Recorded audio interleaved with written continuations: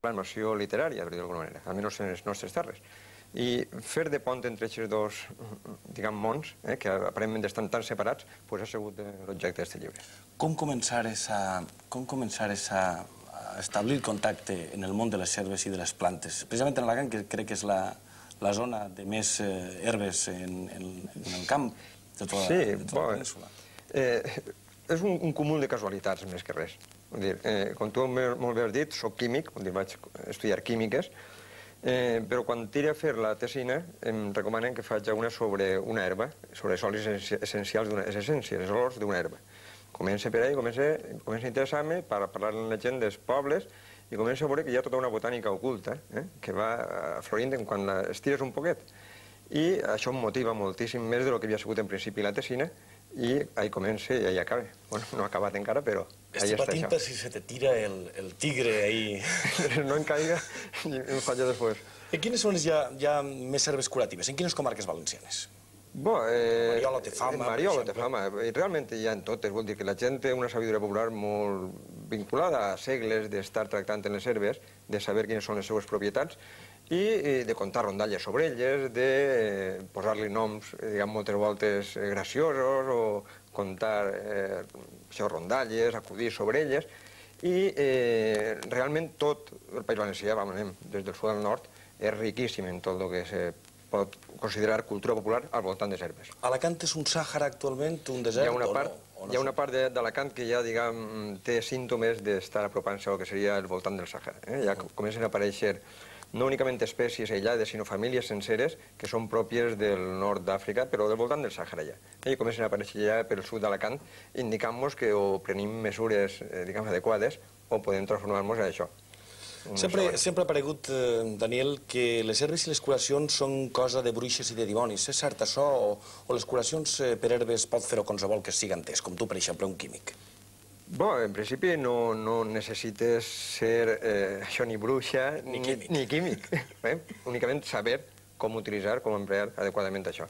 I això està a l'abast de qualsevol que es preocupe, no, no té més que eh, qualsevol que es preocupe i Gràcies. ve eh, llegint, ve preguntant, ve informant-se o ve a voltes provant, senzillament, encara que és un mètode que ja està, diguem, passat. Per exemple, ara jo estic suant així per la calor del, del, del, de les- de l'estudi. i Això, per exemple, en què se podria, per exemple, eh, algun constipat o, Sí. o eh, per estalviar-nos la suor, que en aquest moment m'estan maquillant, Sí. o, o qualsevol cosa d'aquestes, com se pot curar? En quines herbes? Bo, per eh, exemple, jo- de la grip, en què la, la podem tractar? Bé, bueno, eh, també dir que jo, mm, més que herbolari, vol dir que més que dedicar-me a tot el que seria la curació en, en base a herbes, que és un tema que ja està prou tractat i prou estudiat, m'ha dedicat a altres coses. Però, en fi, parlant de la grip, Sí. el, el millor, com diuen, és aspirina bon llit. Curiosament, l'aspirina és, una, és un derivat d'una planta, Sí, sí. eh, de la qual, diguem, la gènesi per a formar l'aspirina és una cosa com molt curiosa i que vaig a, a contar-te. Eh, resulta que eh, durant molt de temps ha imperat el que es dia la teoria de les formes. Dir, que la gent eh, veia que una cosa tenia tal forma o feia aquestes coses i home, pues, l'aplique a una malaltia, a un desig que jo tinc. Per posar un cas, si una persona perdia la memòria, pues, havia gent que pensava que menjant de nous, perquè té forma de cervell, una nou Sí, sí, forma de sí, cervell, pues, podia recuperar la memòria Pel cap. pel cap. Si una persona, eh, si uno observava que hi havia plantes que es claven en les fissures de les roques i les trenquen, pues diu, home, pues si jo tinc un mal de pedra, tinc pedres, pues ja està, me prenc aquesta planta i em trenca les I em pedres. trenca les pedres. És a dir, eh, això les teories de les formes. Això habitualment no es funciona, però a voltes que per casualitat sí, i és el cas de l'aspirina. L'aspirina, i tornem a això, eh, resulta que eh, va haver gent que va veure que eh, quan vivien al costat dels pantans, o de zones de marjals i pantanoses, tenien febres. Però havia uns arbres allí que vivien la mar de bé i no tenien febre, un arbre, era el salse, eh, el sauce.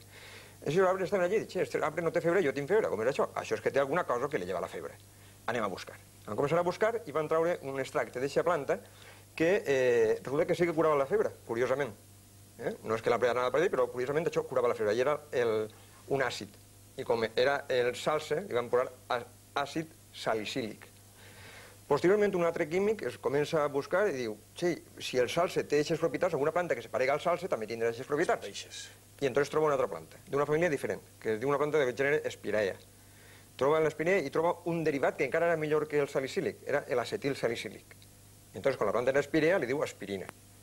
Arriba un altre químic, aconsegueix sintetitzar-la, aconsegueix comercialitzar-la i fa tot un imperi, el químic era Bayer, i fa tot un imperi basat en un analgèsic mesurat que ha sigut l'aspirina. Una cosa, per què en valencià, per exemple, el sexe de la dona i de l'home té nom de, de, de verdura, per exemple? Bueno, això són probablement eufemismes, eh? s'utilitza molt com a... I també per la teoria de les formes, eh? vull dir, eh, pues, què es diu? Pues, carxofes, eh, tomàquets, sí, figues o bacores o aficosos.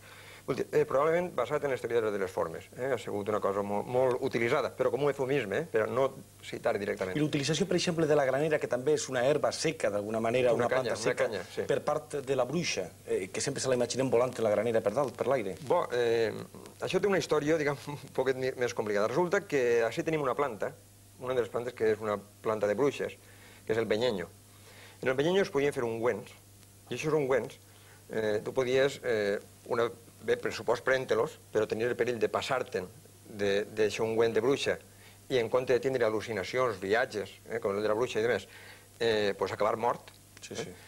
O bé podies fer intoxicat-te molt lleugerament. Les bruixes, diguem, volaven, ens representen sempre volant, eh, viatjant. De quina manera, quan tu eres xicotet, o jo mateix quan he sigut xicotets, viatjaven per casa en un cavall, agarrant una granera i pujant damunt. I pujant damunt. Què passa si la bruixa ha estat eh, pastant l'ungüent i està granant? Té la granera plena d'ungüent. I què passa si puja damunt de la granera?